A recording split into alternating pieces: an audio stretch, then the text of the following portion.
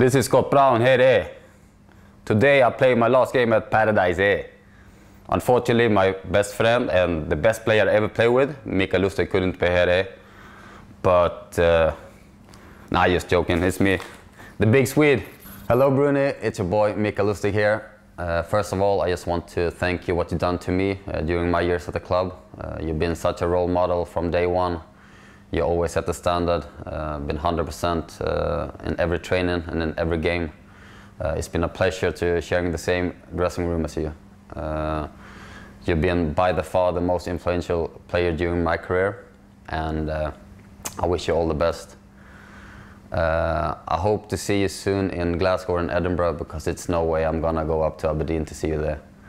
I love you, you know that. I hope to see you soon. Bye.